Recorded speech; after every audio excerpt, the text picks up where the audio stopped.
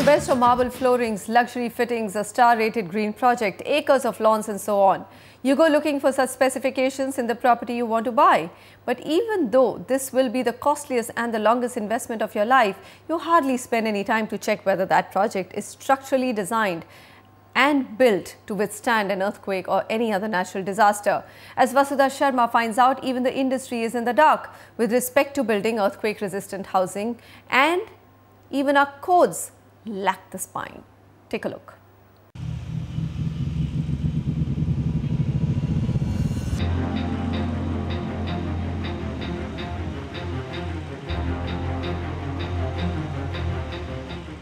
About 15 months back, the National Disaster Management Authority had claimed that India's Himalayan belt had developed enough strains to cause an earthquake of 8 or a higher magnitude that will end at least 8 to 9 lakh lives.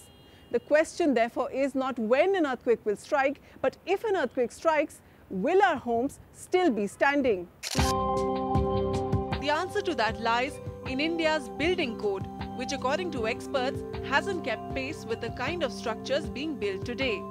The Bureau of Indian Standards has not updated the National Building Code for the last 10 years. There exists no mechanism in the building codes for safety certification of buildings from natural disasters. And the most alarming gap is the absence of a specialized seismic code for tall multi-story buildings, which means anything from 10 floors to say 50 floors is treated the same in the code. Earthquake engineering expert Sandeep Shah's petition in the Supreme Court challenged the Indian government's lack of preparedness in the event of an earthquake. Shah alleges inaction by the NDMA towards strengthening the building codes and disseminating life-saving information to the public.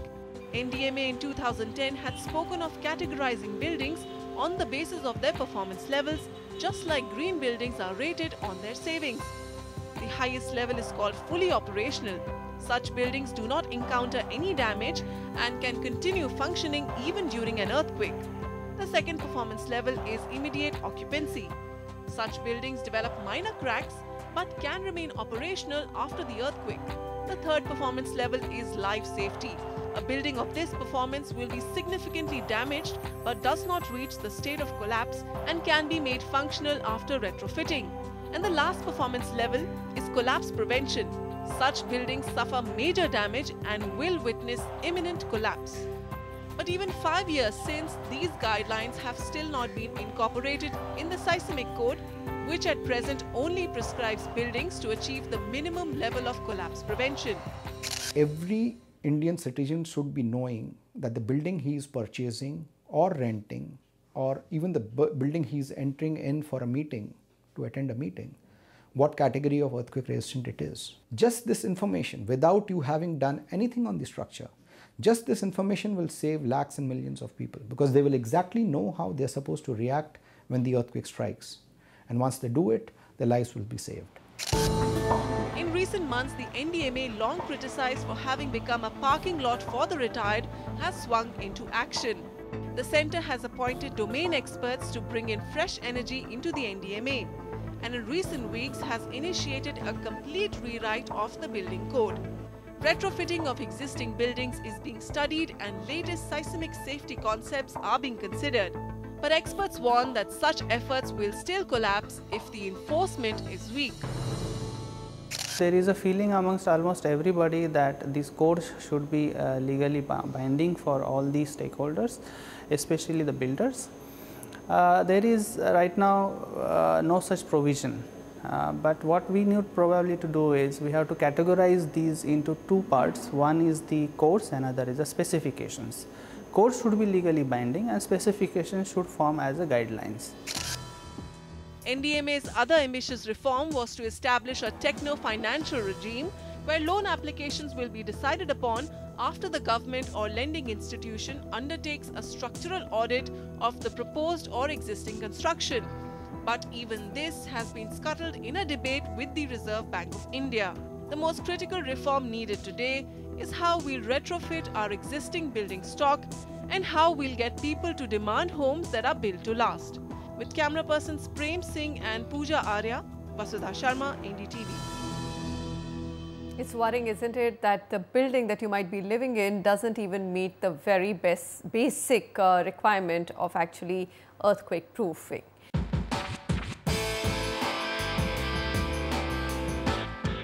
Ani Ray, Managing Director, ACC India Private Limited and KG Bhatia, CEO D-CAD Technologies join me now to find out how unsafe are high-rise buildings across the country and specifically in North India which seems to be falling in the seismic zone. Uh, Mr. Ani Ray, you're building uh, really, really tall structures both in the NCR and MMR. Tell me, what is it that we should be worried about or are we just worrying too much? Well, uh, when we have a building, uh, we see a very tall building. Uh, no, we are always looking at the beauty, architecture, but it's fine that someone uh, looking at the structure, uh, structural configuration, especially earthquake. Now, I go to two things. Um, earthquake zones is as per IS 1893 code for India, but basically all buildings, those are designed not as earthquake proof, but earthquake resistant. So that's a, there is a basic difference in that. So no building can be earthquake proof. If it is earthquake proof, it will be such a robust uh, structure, no one can live in there. So depending on the occupancy and these, I mean the building as designed. Okay. So All when you are looking at a high-rise building, generally, I contrary to popular belief, it is more safer. I agree. We did a huge debate and discussion and this is something that was uh, noted by some of the prominent architects who came on the show that Actually, it's the low-rise buildings which probably uh, would be exposed when if at all there is an earthquake, God forbid there is one. It's not the high-rise. But then if I look at it, uh, the story that uh, our has done clearly outlines that we are not meeting the highest code when it comes to buffering ourselves from any possible damage to the structure in case of earthquake, isn't it, Mr. Ray? Are we, are, yes, not we very uh, far away from international standards, let me say? Uh, yes and no. I think we are we are little far away, but not very far away. Mm -hmm. But uh, the problem is the implementation of the code. We have a we have a Indian building code, but except for a few buildings, who is uh, looking at the implementation? I mean, who is looking at the approval? Who is looking after the implementation in the construction site? That whether the guy who is constructing, he is putting the right uh, methodology, what it is uh, mentioned in the design. Okay. When you are looking in abroad, like in Dubai, uh, municipality comes and checks before each concrete, they come and check and after that only when he gives an approval, then only you can cast the concrete. But here no one, I mean people are more bothered to see at the FSI or the setback but not the structural calculation. All right, uh, but it's a good warning coming in from you that please also look at other things. Uh, Mr. Bhatia, now if I look at it, NDMA only decides the last performance level decided uh, which is the collapse prevention. Now is that, isn't that worrying that it's, it's a very, very first level of security against an earthquake and shouldn't be, you know, these codes have to be upgraded very, very quickly? We are upgrading these codes mm -hmm. regular on regular basis. Okay. Even the 1893 part 1, which is for buildings, that's also recently been upgraded. It was came in 2002, latest one, now coming in 2005, and again, again getting uh, upgraded. So code wise, I don't see any problem in general. Problem becomes implementation mm -hmm. implementation, as Anil Ray uh, rightly said, implement, that means you are getting the structural designs done. There are agencies who can do that, very well they can do that. Mm -hmm. But structural designs checking done, that becomes a question mark. All there right, are very so, less so number of people. Who should be doing it? Uh, should should an approval of the project itself be dependent on the fact that you have all the you follow all the codes and then somebody should also come and check it later? Yes, they have to be implemented. We follow all the all the codes. That means the designers follow all the codes. That has to be checked first of all. Mm -hmm. And then we do not have. Uh, you can say everybody who's designing it is not an expert in earthquake engineering. Okay, so we need these uh, designs to be checked by an earthquake expert. An earthquake expert. Yes. Ani Ray, are there enough people who can do the or bring those checks and balances in place? Uh, okay. Do we have the uh, expertise across the country? Because you know, uh, you have buildings being made almost every day across the country. Yes, yes. Uh, I, the, I think the, there, are, there are experts available, but it's the question of the methodology. Like uh, when, you building a, when you design a building, even it's a ground plus one story building in Dubai, you need to send it to the municipality and then a third party he checks it. Also municipality have the engineers who to check it.